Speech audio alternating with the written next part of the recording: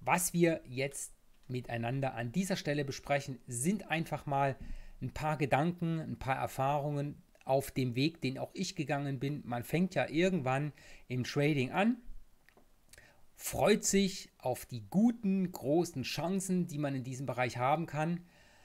Ja, läuft los und dann merkt man plötzlich, ach herrje, so einfach ist es ja gar nicht. Es kommt ja immer wieder was dagegen was mir meine schönen Gewinne wieder wegmacht und das Konto läuft immer wieder ins Minus und das ist einfach für viele, viele deprimierend. An dieser Stelle, ja, möchte ich sagen, es ist nichts Ungewöhnliches. Und es ist völlig normal, was wir da sehen. Bevor wir jetzt hier nochmal ins Detail gehen, wie immer auch an dieser Stelle noch einmal der Risikohinweis. Äh, der Handel mit Devisen und CFDs auf Margin, der kann zu Verlusten führen. Das, was hier steht, bitte ich natürlich wie immer auch für diesen Teil in Gänze zur Kenntnis zu nehmen. Also, wir sprechen jetzt hier an dieser Stelle einfach mal im ersten Teil dieses Webinars. Ich mache davon auch noch ein zweites Webinar. In der übernächsten Woche machen wir hier ähm, Teil 2. Das heißt, an dieser Stelle schauen wir einfach mal, wir gehen mal der Frage nach, kann man im Daytrading Geld verdienen? Wir schauen die Unterschiede zwischen Trading und Investieren an. Wir gucken auf den Faktor Zeit. Risiko und Money Management kratzen wir an dieser Stelle auch mal an.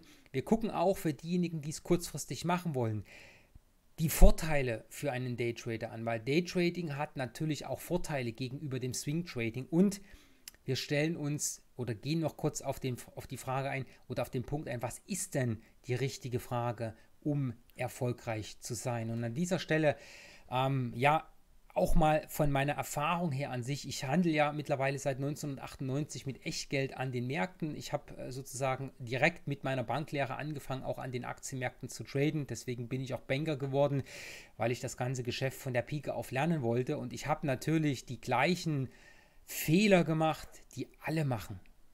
Dazu brauche ich nichts weiter zu sagen. Ich bin gestartet mit, dem, mit der großen Motivation, ja, man kann an der Börse richtig, richtig gutes Geld verdienen das ist toll, ich wollte irgendwann äh, davon leben, das war mein großes Ziel gewesen. Ähm, und ich habe einfach damals gesagt, komm, das machst du jetzt, du hast die Chancen, du lernst das hier in der Bank, du verdienst jetzt Geld. wie ging es dann los? Die ersten Monate waren schön, die Börsenphasen waren ja auch richtig toll, man konnte richtig, richtig gutes Geld verdienen, weil halt alles gestiegen ist, da konnte man nicht viel verkehrt machen. Und dann, ja, dann kamen die ersten Probleme. Und was ist dann passiert? Dann kam erstmal ein dickes Minus auf dem Konto. Ich habe nie ein Konto platt gemacht, aber ordentliche Drawdowns hatte ich auch. Ja, hätte ich damals gewusst, was alles auf mich zukommt, hätte ich viele Sachen anders gemacht oder vielleicht hätte ich auch gar nicht angefangen. Ich weiß es nicht. Was ich aber an dieser Stelle sagen kann, ist, es lohnt sich definitiv dabei zu bleiben und die richtigen Schlüsse zu ziehen. Was sich allerdings nicht lohnt, ist, das kann ich an der Stelle auch schon mal sagen, permanent zwischen den verschiedenen Strategien hin und her zu rudern äh, und zu schauen, was macht der eine, da mache ich das, ich bin nicht erfolgreich damit, da mache ich was anderes. Wir haben es ja immer wieder, wir sehen es auch medial. Aktuell ein Mega-Hype ist hier das Thema, äh, dass man sozusagen mit Volumen agiert, mit äh, Zonen rausfiltern in den Programmen. Das gibt es ja mittlerweile auch für den, für den Stereo-Trader hier dass wir sozusagen das Volumensprofil uns anzeigen lassen können. Das ist der neueste Hype sozusagen und man guckt, wenn man in die Multimedia-Welt guckt, in die äh, in, in, Facebook, in, in die ganzen sozialen Netzwerke, das ist momentan der Knaller. Das wird hingestellt wie der heilige Gral zum Trading. Alles andere ist Mist. Mit allem anderen kann man kein Geld verdienen und das zieht natürlich gerade unerfahrene Trader an. Ich kann sagen, an dieser Stelle, das ist alles Quatsch, das ist Schwachsinn, was dort erzählt wird. Das ist auch nur ein Handelssystem, das an den Märkten funktioniert. Es gibt viele andere Systeme und man darf am Ende nicht vergessen, was man damit machen möchte. Man tradet einfach einen Markt, der in Bewegung ist, wie jeder andere auch. Und wenn am Ende die Order im System spielt, dem Markt ist das völlig wurscht, warum Sie eine Long Order oder eine Short Order eingeben.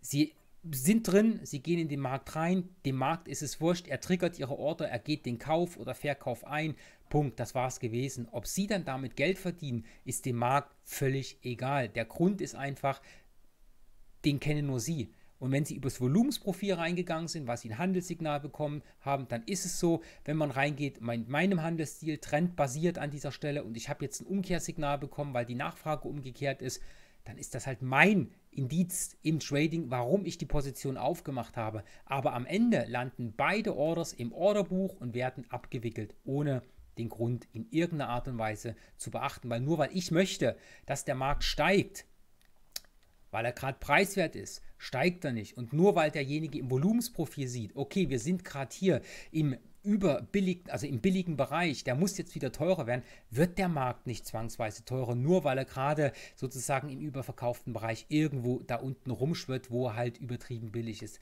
Deswegen dreht der Markt nicht rum. Ja? Das muss man an dieser Stelle einfach wissen. Das sind nur Wahrscheinlichkeiten. Gehen wir wieder mal aber zurück wirklich auf das Thema, kann man im Daytrading Geld verdienen? Und da können wir wirklich sagen, selbstverständlich haben wir die Chance, im Daytrading Geld zu verdienen. Aber, und jetzt kommt halt ein Aber, die Praxis zeigt halt, weniger als 20% der Trader verdienen langfristig Geld. Das sehen wir ja auch am aktuellen Risikohinweis hier bei Tickmill. Wir sehen es angelendet aktuell, was steht hier drin? Der Risikohinweis 72% der Privatanlegerkonten verlieren Geld beim Handel mit CFDs bei Tickmill UK Limited. Das steht da. Ja? Das heißt, Klar kann man Geld verdienen. Aktuell verdienen 18% der Trader bei Tickmill Geld. Der Rest verliert. Also, wir haben die Chance, Geld zu verdienen, wir müssen es nur richtig anstellen. Und das ist halt der Punkt, da muss man sich hin, also hinbewegen. Wir wissen halt, es ist gar nicht so leicht. Und der Anfänger, der Starter im Trading, der kommt, sage ich mal, ja gar nicht in die Situation, ähm, nachhaltig Geld zu verdienen, weil er an einer Stelle steht, wo er noch gar nicht weiß, was auf ihn zukommt. Das heißt, die Mehrheit der Trader, die noch nicht profitabel sind, sind gerade am Anfang mit den Anforderungen, die das Trading braucht, absolut überfordert. Das weiß ich aus meiner eigenen Erfahrung, wobei ich damals den Vorteil hatte, ich habe das Ganze nebenberuflich gestartet und ich habe natürlich auch einen Beruf gehabt, wo ich sehr nah auch an der Börse gewesen bin. Ja, das war, ist ein bisschen was anderes. Nur, das ist völlig egal. Ähm, es ist einfach so, die Aufgaben, die sind für jeden gleich ähm, zu, zu bringen. Und ich hatte halt damals überhaupt nicht den Anspruch, äh, Daytrader zu werden und im Daytrading Geld zu verdienen. Mache ich heute. Äh, mein, die Mehrzeit meiner Trades äh, geht, sind eher Swing Trades. Ja, ähm, ein klassischer Daytrade, den mache ich auch ab und zu mal. Nur ich persönlich merke halt, für mich persönlich ist es so, dass ich in den Swing Trades deutlich besser performe, ja, und das ist halt äh, etwas, das muss jeder für sich selber lernen. Die Frage ist halt, kann man im Daytrading Geld verdienen?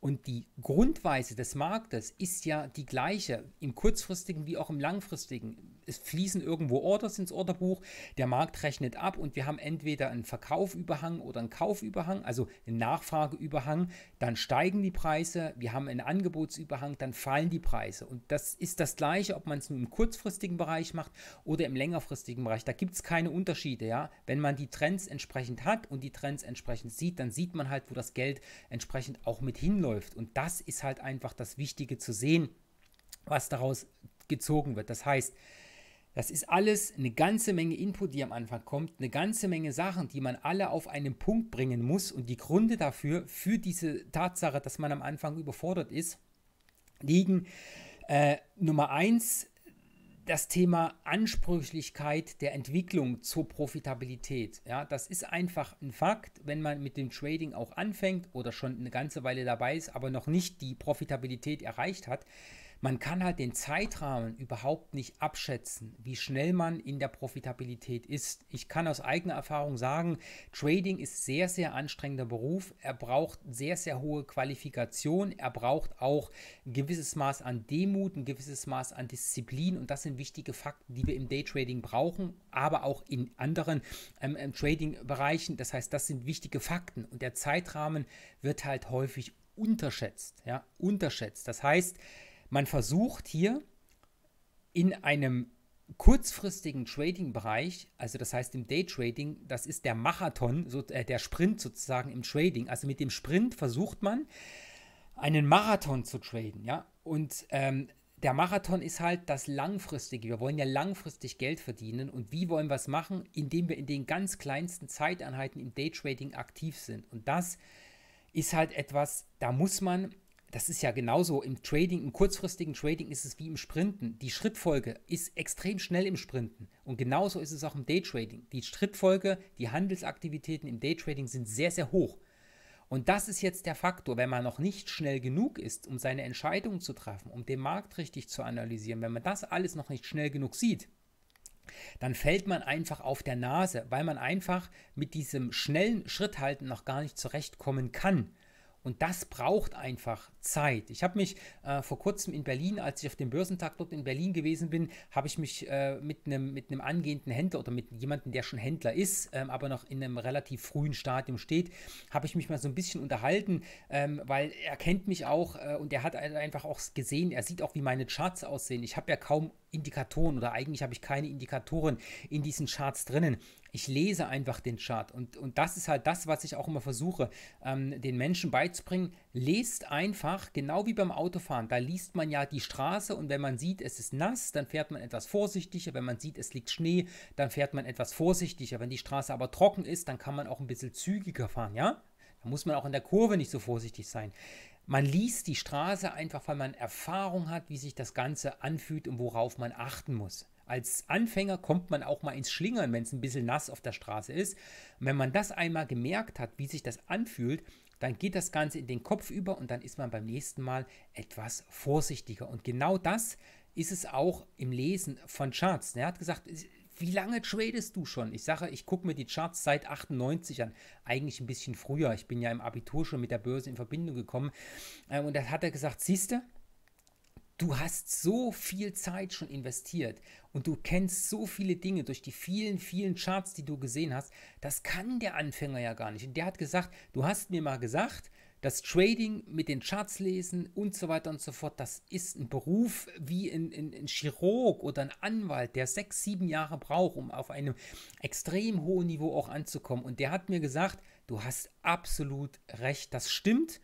Du brauchst einfach extrem viel Screentime, um zu sehen, wie sich die Märkte verhalten. Und wenn du dann die Charts siehst und dann kannst du das Verhalten der Marktteilnehmer einordnen dann kannst du entsprechend deine Trades auch reingeben. Und all diejenigen, die mit funktionierenden Handelssystemen um die Ecke kommen und sagen, hier passt auf, ich lerne euch, wie ich das gemacht habe. Das ist alles okay, das mache ich ja auch so. Ich habe ja auch meinen Stil. Nur am Ende ist der Coach oder derjenige, der, der ein Seminar hält, nur einer, der ein paar Teile fürs Puzzle gibt und der Trader an sich muss aus diesem Wissen, was er dort hat, den eigenen Weg finden, weil einfach nur nachmachen, das funktioniert nicht. Und das ist halt auch das, was die Entwicklung zur Profitabilität so ein bisschen beeinflusst. Je mehr wir Zeit haben, je mehr wir sehen, je besser können wir lernen. Und das ist halt wichtig. Das ist der erste Fakt, ja. Der zweite Fakt ist, viele Trader haben am Anfang noch viel zu wenig unternehmerisches Denken. Man muss als Trader, um da aktiv und ordentlich Geld zu verdienen, braucht man unternehmerisches Denken. Das heißt, an dieser Stelle braucht man ein anderes Gedankengut als ein Arbeitnehmer. Warum? Ein Angestellter, der sagt einfach, ich arbeite und für meine Arbeit kriege ich Geld. Das Ergebnis ist da nicht so wichtig. Ich habe einen Arbeitsvertrag, da steht drin, ich muss 40 Stunden arbeiten, dafür kriege ich Summe X am Ende des Monats, Punkt. Ich komme auf Arbeit, arbeite meine 40 Stunden, kriege die Kohle aufs Konto. Das war es gewesen.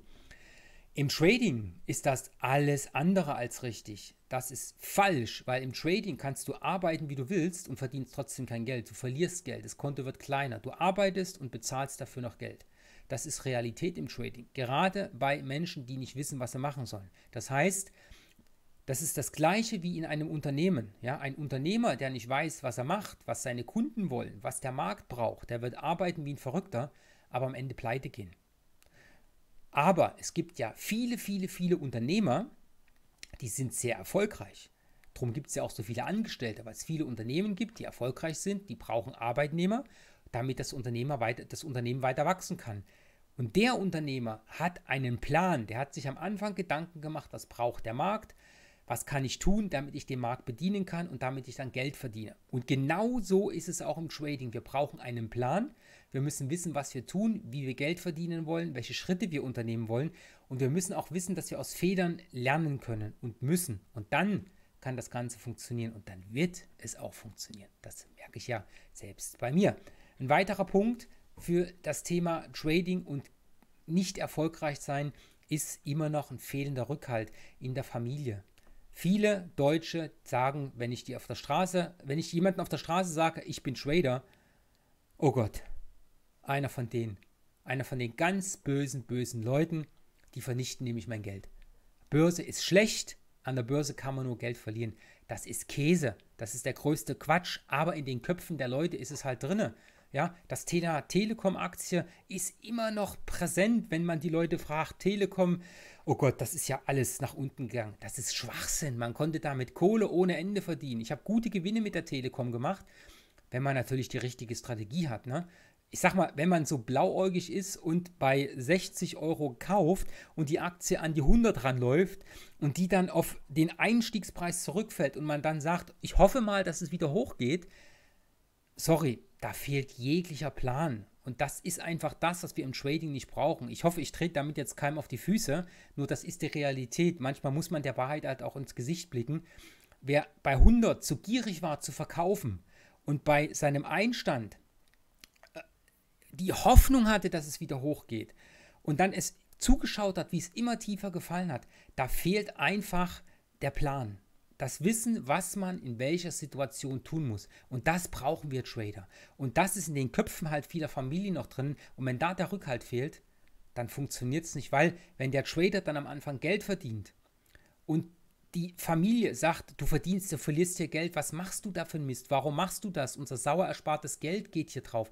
Das ist natürlich ein immenser mentaler Druck, der dann da ist. Und wenn der Rückhalt nicht da ist, dann wird es halt es ist halt noch ein größerer Stein, der im Rucksack liegt, den der Trader auf dem Weg zum Erfolg mittragen muss. Das ist auch ein wichtiger Punkt. Und ein weiterer Grund ist die falsche Motivation. Oft wird Trading angefangen auf, aus Gründen, die völlig daneben liegen. Die Werbung sagt uns, hey, Schau mal, Trading ist total easy. Du sitzt im Urlaub am Strand mit dem Cocktail in der Hand, du nimmst einfach nur dein Handy, siehst hier, geh long oder geh short, dann geh mal long, dann verdienen wir Geld. Das ist das, was die Werbung verspricht, ja.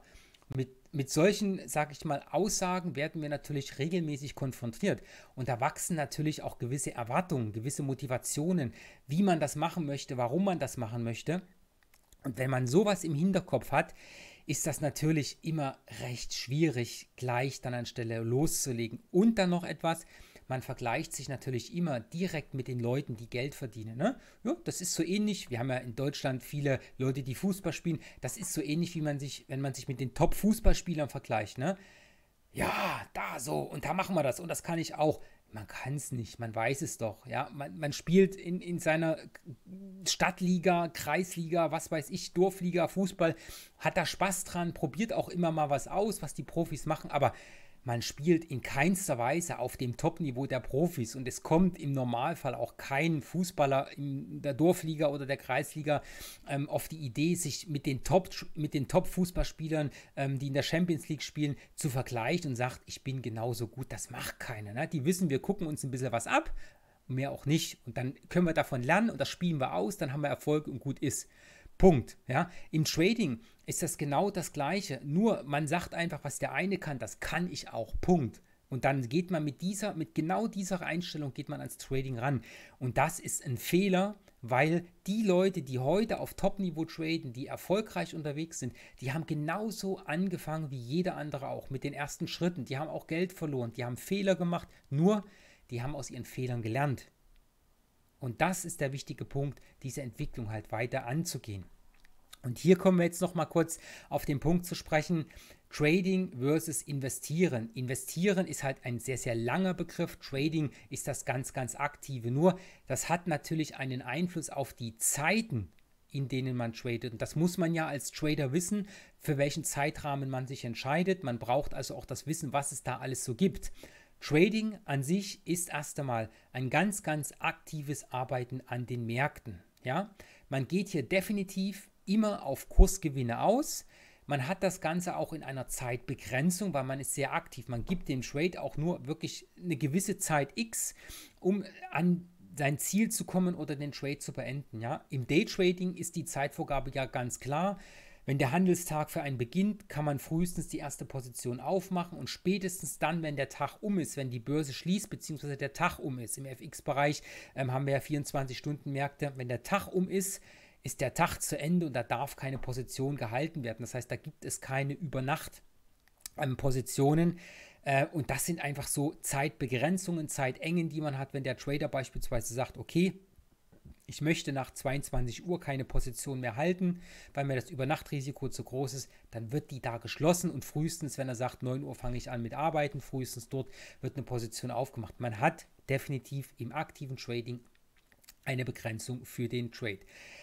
Trading an sich braucht sehr, sehr, sehr viel emotionale Stärke auch, weil durch dieses schnelle Hin und Her äh, ja, werden die Emotionen gerade bei den, bei, den, bei den Beginnern oder leicht fortgeschrittenen immer wieder angepackt und das bringt uns in Unruhe äh, und das, da muss man auch daraus lernen. Und ähm, hier beim Trading ist es so, ähm, dass das ähm, die Arbeit mit dem Geld, der Profit und das Risiko, das liegen, liegt im Geld. Das heißt, man versucht im Trading immer äh, in kurzer Zeit äh, gutes Geld zu verdienen und damit hat man natürlich ähm, dass äh, das Risiko in den größeren Positionen liegen. Das heißt, man versucht hier in kurzer Zeit über die Preisaktie einen, einen, gewissen Schub mitzunehmen und damit eine Menge X an Geld zu verdienen. Und da ist es natürlich immer so, äh, da kommt in aller Regel oder in der Linie halt dann die, die Unruhe äh, auch mit rein. Äh, man, man, man, man liest da auch oft vom, vom sogenannten äh, Rumrutschfaktor an dieser Stelle. Man wird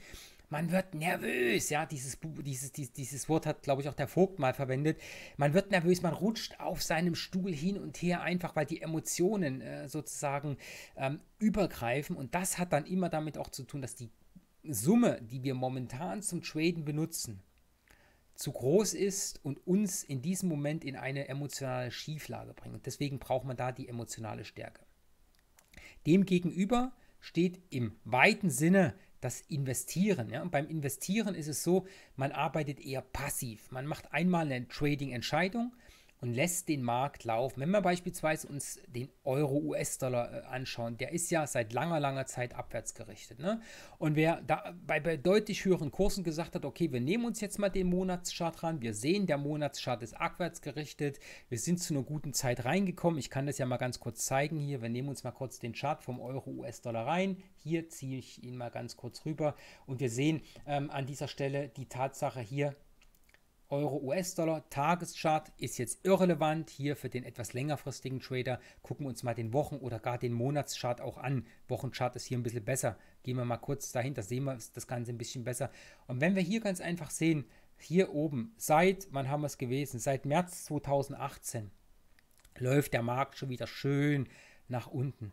Dann kann man doch wirklich, wenn es zu deinem eigenen Trading-Stil passt, cool bleiben, in Ruhe den Markt nach unten traden lassen, seine Handelssetups finden und zu sagen, okay, in diesem großen Bereich den Einstieg finden. Ich mache jetzt mal ein, ein Optimum, ja, dass man einfach sagt, okay, ähm, wir sind hier zum Beispiel mit Bruch dieser Marke hier oben bei 1,21,6 oder 1,21,5 in die Short-Position reingegangen und lassen einfach diesen großen Druck weiter äh, am Arbeiten. Wenn man mal sieht, der der stand ja schon mal bei 1,40. Wie lange der schon abwärts gerichtet ist, da sehen wir einfach, dass der Schub von unten, äh, von oben nach unten anhaltend ist. Und das kann man wirklich passiv in aller Ruhe sehen äh, und das Ganze dann entsprechend laufen zu lassen. Und das ist einfach passiv. Man trifft einmal eine Entscheidung und lässt den Markt so lange laufen, bis es wirklich zu einer massiven Richtungsänderung kommt. Da hat man nichts zu tun.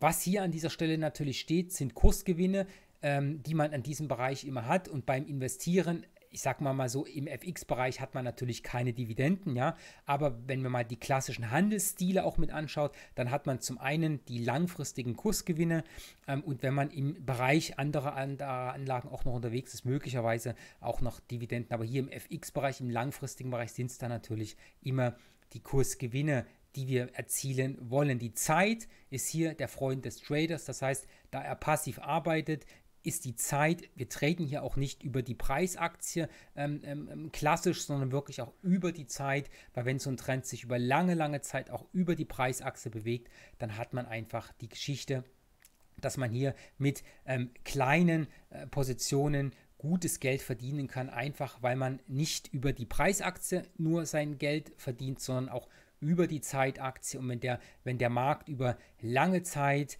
nach unten oder nach oben läuft, dann kann man halt mit einer kleineren Position genauso viel Geld verdienen, wie das der aktive Trader mit deutlich größeren Positionen äh, macht. Nur man ist hier halt viel, viel länger investiert.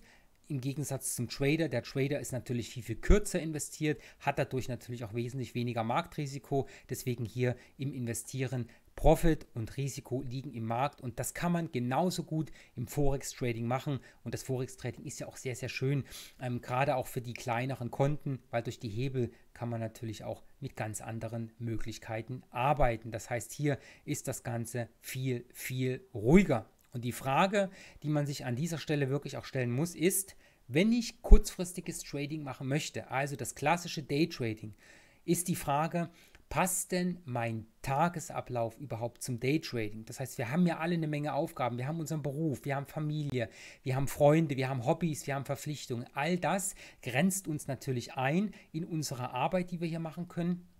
Und das sind natürlich Fakten, die wir immer wieder auf der Uhr mit haben müssen, um das Ganze auch im, sage ich mal, ordentlichen Maßstab machen zu müssen. Weil wer Daytrading machen möchte, muss auch zu den passenden Handelszeiten da sein. Das heißt, hier kommt der Faktor Zeit ins Spiel. Das heißt, an dieser Stelle muss man einfach wissen, wir brauchen, gerade wer noch nicht hauptberuflich tradet, eine Zeiteinteilung zwischen all unseren Aufgaben, die wir haben und dem Trading. Das heißt, wer einen ganz normalen Bürojob beispielsweise hat und von 8 bis 17 Uhr im Büro ist, der hat natürlich ziemlich schlechte Karten, weil in dieser Zeit sind natürlich auch die Händler aktiv. Ja, ähm, und wenn die Händler nicht mehr aktiv ist, sieht es mit den Bewegungen auch ein bisschen anders aus. Das heißt, er hätte jetzt hier die Chancen, Trading vor 8 Uhr zu machen und nach 18 Uhr. Ja, das ist mal die Zeit, die der Trader dann hat. Wenn man sich allerdings mal die Handelszeiten für den FX-Bereich beispielsweise anschaut, dann sieht man hier halt, es gibt bei uns hier für Europa, es gibt früh morgens eine Überschneidung, noch so ein bisschen kleiner Rest aus Asien. Äh, Europa geht jetzt hier rein, morgens 8 Uhr, 9 Uhr, London kommt 10 Uhr rein, da kommt wirklich mehr Geld rein. Dann ist Mittagszeit, da ist immer weniger los. Also da, wo auch mal derjenige, der arbeiten geht, plötzlich Zeit hat, den, den Markt zu betrachten, da ist weniger los, weil die Händler einfach Pause machen die lassen auch den Hammer fallen und gehen was essen. Und wenn die essen gehen, sind die natürlich nicht aktiv. Und dann haben wir die Nachmittagssession, da kommt die USA mit rein. Das heißt, hier an dieser Stelle ist da auch ordentlich Handelsvolumen da. Dann geht der Euromarkt raus, das heißt, Deutschland und so macht Feierabend. London geht auch irgendwann raus. Die USA machen dann 18 Uhr Mittag und dann sehen wir, das Handelsvolumen geht schon wieder ein Stück weit zurück. Und das sind einfach Fakten, die wir wissen müssen. Ne? Und das heißt, wenn wir hier mal die Überschneidung sehen, das meiste Geld ist eigentlich so unterwegs hier bei uns uns, wenn wir uns das aus Deutschland mal sehen, zwischen grob 9 äh, und 17, 18 Uhr. Äh, und dann geht es noch ein bisschen in die Abendsession rein durch die USA. Also die Händler aus Europa und London sind weg. USA ist dann noch ein bisschen da und dann ist erstmal Ruhe. Dann ist keiner mehr da und dann ist natürlich auch viel, viel weniger Geld an den Märkten da. Und wenn das nicht passt, wenn man in diesen Zeiten nicht traden kann, dann hat man im Daytrading halt relativ schlechte Karten, weil man braucht ja auch ordentlich Bewegung. Heißt also hier, Wer sich das Ganze mal anschauen möchte, die besten Zeiten für den Forex-Handel im Daytrading liegen zwischen 8 und 11, dann kommt Mittagszeit und 14 bis 18 Uhr, weil dort auch das höchste Handelsvolumen entsprechend mit da ist. Ja, das ist das eine. Und im Faktor Zeit, die, die Uhr hier, diese ähm, Eieruhr zeigt es, diese Sanduhr, je weniger Zeit wir zum Traden haben, im kurzfristigen Bereich, ja, wohlgemerkt, je größer ist natürlich der Druck.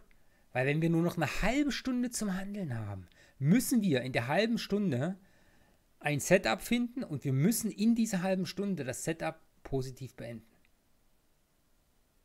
Das ist Hammerdruck, ja. Das heißt, die Positionseröffnung ist der Start des Handels, die Positionsschließung das Handelsende. Und wenn wir dann keine Zeit mehr haben, dass der Trade sich entwickeln kann, dann haben wir ziemlich schlechte Karten. Ja, das heißt, die Zeit bestimmt die Marktliquidität. Und man kann hier auch sagen, je später der Abend, umso geringer ist die Liquidität. Und wir brauchen einfach im kurzfristigen Trading die Liquidität, um an den Märkten aktiv und erfolgreich zu sein. Das ist wichtig zum Faktor Zeit. Kommen wir jetzt nochmal kurz hier zum Risiko- und Money Management. Risiko- und Money Management bedeutet an dieser Stelle, wir müssen einfach mal schauen, was bedeutet es, das Risiko im Markt oder das Risiko im Geld zu haben. Das sind zwei Faktoren, die sind auch beim Handelsstil sehr, sehr wichtig. Wir schauen zuerst mal auf das Marktrisiko. Das Marktrisiko bedeutet, dass der Stopp weit weg vom aktuellen Kurs ist. Ja, man legt das Risiko in den Markt. Das heißt, die Preisleiste wird viel, viel weiter nach unten bedient. Die Positionsgröße ist relativ niedrig. Der Einflussfaktor Zeit zeigt uns hier, wir sind ja natürlich, wenn wir das Geld ins, ins, in den Markt legen, das Risiko in den Markt legen, heißt das, wir sind lange Zeit im Markt investiert. Und immer dann, wenn wir lange Zeit im Markt äh, investiert sind, haben wir natürlich immer ein deutlich höheres Risiko für unkalkulierbare Events. Das ist das eine. Und wir haben natürlich immer auch sogenannte Gap-Risiken. Das heißt, auch wenn wir im FX-Trading unter der Woche kein Gap-Risiko haben, übers Wochenende haben wir es trotzdem. Ja, das ist einfach Fakt. Und das muss man wissen. Wenn wir lange Zeit investiert sind, haben wir diese Risiken da. Auf der anderen Seite gibt es das sogenannte Risiko im Geld. Das ist das Geldrisiko. Da ist es so, dass der Stopp recht nah am Kurs ist, aber die Positionsgröße ist sehr, sehr hoch weil wir wollen ja Geld verdienen über eine kleine Bewegung am Markt. Wer sein Risiko ins, in den Markt legt, der möchte eine weite Kursspanne nutzen, um Geld zu verdienen. Ne? Das ist bei dem Daytrader natürlich schwer möglich, weil wir können ja nicht äh, erwarten, dass wir innerhalb von einem Handelstag äh, die Spanne an Weg zurücklegen, die der Markt in den letzten zwei, drei Wochen gemacht hat, um dort über die Preisleiste Geld zu verdienen. Das wird natürlich nicht in den meisten Fällen der Fall sein. Das heißt, im Geldrisiko haben wir eine relativ enge Absicherung, aber eine relativ große Positionsgröße und eine kurze Haltedauer. Ja? Das heißt, das Geld, was wir für die Risikoseite bereitstellen, ist hier in beiden oder kann in beiden, ähm, ähm, sage ich mal, äh, Entscheidungswegen die gleiche Summe sein. Ja? Ist es häufig auch. Aber die Positionsgröße, die wir schieben, die ist natürlich immer eine andere und der Haltedauer ist eine ganz, ganz andere. Und die, der Vorteil bei der kurzen Haltedauer, gerade im Daytrading, ist natürlich, man hat kein Gap-Risiko. Ja, und die Gefahr unkalkulierbarer, unkalkulierbarer Events, die ist natürlich deutlich geringer. Das heißt, das hat gewisse Vorteile. Und jetzt schauen wir hier mal die Vorteile für den Daytrader an. Ja? Ein Daytrader hat eine relativ hohe Handelstätigkeit. Das heißt, das kommt auch so ein bisschen dem Arbeitnehmer entgegen. Man hat das Gefühl, etwas zu tun. Man bekommt relativ schnelle Resultate. Ja, das ist auch ein Fakt. Und der Daytrader, wenn er am PC sitzt, der kann natürlich auch relativ schnell auf das reagieren, was über die News-Seite beispielsweise reinkommt. Wenn wir da ziemlich schnelle Bewegungen bekommen, da kann derjenige, der direkt davor sitzt und aus den kleinsten Bewegungen Geld verdienen möchte, natürlich immer wieder sehr, sehr gut auf diese News reagieren, was natürlich äh, ein Arbeitnehmer im Swing Trading in diesem kleinen Rahmen gar nicht kann. Der, der kann auch auf News reagieren, das ist alles kein Problem, aber etwas zeitversetzt. Ne? Man hat im Daytrading auch kein Nachtrisiko. Der Vorteil auch hier, gerade im FX-Bereich, man hat keine Finanzierungskosten und wenn es gut läuft, dann geben schnelle Erfolge definitiv Sicherheit. Das ist ein großer Vorteil. Ja?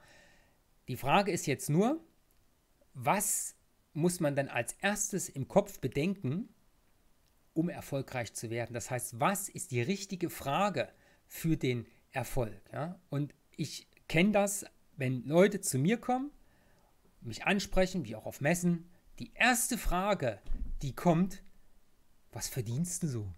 Wie viel kann ich im Trading verdienen?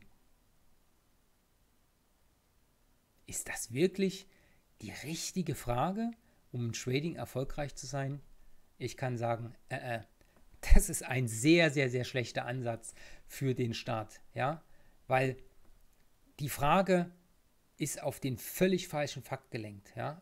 Es geht im Trading erstmal darum, Fuß zu fassen. Das heißt, die Frage, wie viel kann ich verdienen und wie viel verdiene ich, Mike Seidel, hat überhaupt keinen Einfluss auf das, was Sie verdienen. Das heißt, hier ist der Faktor oder die Frage, wie viel kann ich verdienen, da liegt der Fokus nur im Geld, ja? Nur und nur sich darauf zu fokussieren, ist ein Fehler. Viel richtiger ist es, sich die Frage zu stellen, Nummer eins, wie viel will ich verdienen? Ja? Also wir sehen, der Faktor Geld spielt natürlich immer eine Rolle. Jeder, der arbeitet, will Geld verdienen, muss auch Geld verdienen, weil wir wollen ja unser Leben leben. Also, die Frage ist hier viel, viel wichtiger, wie viel möchte ich verdienen? Das ist die eine Frage. Und die zweite Frage, und das ist die viel, viel, viel wichtigere, wie stelle ich das an? Das heißt, es ist ja wie, es ist ja genauso wie wenn wir mit dem Auto in den Urlaub fahren, an ein Ziel, wo ich noch nie gewesen bin. Ja? Ich steige doch nicht einfach ins Auto ein und fahre los. Nee, da kommen wir wahrscheinlich nie an. Wir gucken immer in irgendeiner Art und Weise auch erstmal darauf, wie kann ich denn überhaupt ans Ziel kommen, ja? Früher haben wir die Karte geguckt, heute schaut man aufs Navigationssystem, aber man hat irgendwas, wo man den Weg planen kann. Und so ist es so. Also das heißt, im Trading ist die erste Frage, wie viel will ich verdienen und die zweite, wie stelle ich das an? Ja, das ist wie beim Autofahren, ja? Wo will ich hin? Wie komme ich dahin? Das ist ja die das sind ja die wichtigen Faktoren und ohne die zweite Frage kommen wir nie am Ziel an. So ist es auch. Die Frage ist hier immer wichtig zu stellen, wie stelle ich das an? Und daraus kann man dann einen ordentlichen Plan machen, um auch erfolgreich im Trading langfristig Geld zu verdienen. Das heißt, hier an dieser Stelle schauen wir dann im zweiten Teil dahin, wo man einfach mal schaut, wie sieht denn der Weg entsprechend aus? Ja? Das heißt, viele wissen es ja selbst, der Weg zum profitablen Trading, das ist ein steiler Weg, aber er lohnt sich. Nur, eins müssen wir im Hinterkopf behalten, ich gehe mal wieder auf die Zahl ein, 72% der Privatanleger oder anders, nur 18% der Konten hier bei Tickmill verdienen Geld. Wir wissen ja, äh, in der Realität ist das noch ganz, ganz anders. Da wissen wir, dass über 90 Prozent der Leute Geld verlieren. Ja? Fakt ist, oder der Punkt ist einfach der, viele Leute geben mit dem Trading auf, weil sie einfach keine Ahnung haben, wie sie es bewältigen sollen. Das heißt, hier habe ich es mal blau auf weiß geschrieben. Sie haben keine Chance zu gewinnen, denn sie wissen nicht, was sie tun. Und sie wissen auch nicht, was auf sie zukommt. Und sie wissen auch nicht, welche Hebel sie in Bewegung setzen müssen, um erfolgreich zu werden. Ja? Das braucht Wissen, das braucht auch eine Menge Kraft und Willen, aus den eigenen Fehlern zu lernen. Und darüber sprechen wir dann im zweiten Teil übernächste Woche Freitag. Nächste Woche Freitag ist, äh, am Freitag haben wir großen Feiertag hier in Deutschland. Da wird es keine edukativen Teile hier an dieser Stelle geben. Das machen wir dann die Woche drauf. An dieser Stelle danke ich für die Zeit hier im heutigen Webinar und wünsche allen gute Trades und sage gutes Wochenende und bis zum nächsten Mal. Tschüss.